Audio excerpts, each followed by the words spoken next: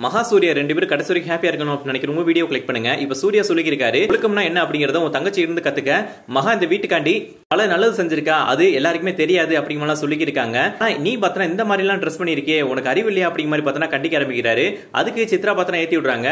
இதெல்லாம் போட சொன்ன காரணமே இந்த மகாவா தான் இருக்கும் அப்படிங்கிற சொல்லுவோம். அத்தை அப்படிலாம் நான் ஒன்றும் பண்ண மாட்டேன் அப்படிங்கிற மாதிரி மகா சொல்லியிருக்காங்க ஏங்க அப்படிலாம் பண்ணிக்கிருக்க? நம்ம குடும்பத்தை அசிங்கப்பட்டதே உன்னோட வேலையாச்சா? அப்படிங்கிற மாதிரி கண்டிக்க ஆரம்பிக்கிறாங்க அவங்க ஒரு பக்கம். இந்த இடத்துல ஐஸ்வர்யா யோசிக்கிறாங்க. இந்த ட்ரெஸ்ஸை போட்டு அந்த ஆடு போய் நினைச்சோம்ல அதை மட்டும் வீட்டுல சொன்னோம் அப்படின்னா நம்மளுக்கு இங்க இடம் கிடைக்காது அப்படி சொல்லிட்டு இப்ப கமுக்கமா இருக்காங்க. இன்னொரு பக்கம் பார்த்தோம்னா இப்ப கிளைன் பார்த்தோம்னா ஒரு நியூ டிசைன் வேணும் அப்படிங்கிற மாதிரி பார்த்தோம்னா இப்போ ரிக்வஸ்ட் வைக்கிறாங்க சூர்யா கிட்ட. என்ன பண்றது தெரியல. மகாவை நம்ம ஆல்ரெடி கூப்பிட்டோம். இதுக்கப்புறம் அவர் பண்ணி கொடுப்பான்னு தெரியல அப்படிங்கிற மாதிரி ஒரு இக்கட்டான சூழ்நிலைக்கு தள்ளப்பட்டிருக்காரு.